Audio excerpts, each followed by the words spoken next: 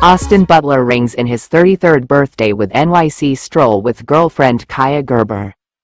The couple held hands during a casual walk in Manhattan on August 17. Austin Butler rang in his birthday with his girlfriend Kaia Gerber by his side.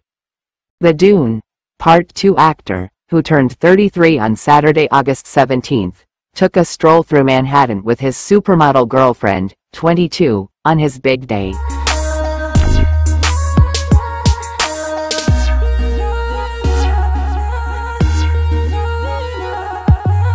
The couple was spotted holding hands while both wearing matching white tops, with Butler pairing his shirt with a pair of dark green pants and a blue baseball cap as Gerber sported a pair of dark blue pants and black sunglasses.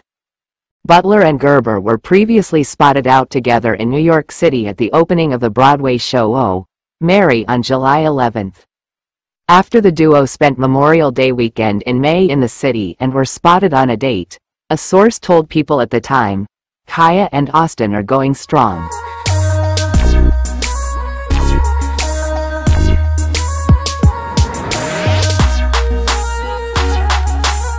They held hands the entire way to dinner and stopped and hugged a few times before going into a club.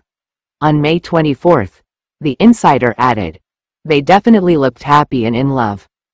Romance rumors for the couple first sparked in December 2021 when they were spotted at a yoga class together.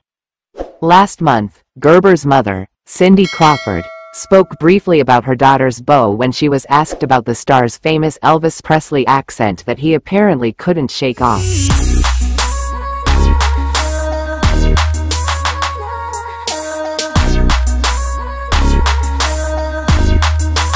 I just, that's Austin to me, Crawford, 58, said during the July 2024 episode of Watch What Happens Live with Andy Cohen. He spent so long being Elvis that I think it just stuck, she added. That's what we can inform you. If the audience is satisfied with the information, don't forget to help us by liking, commenting, sharing and subscribing. For the support of all the viewers, we thank you.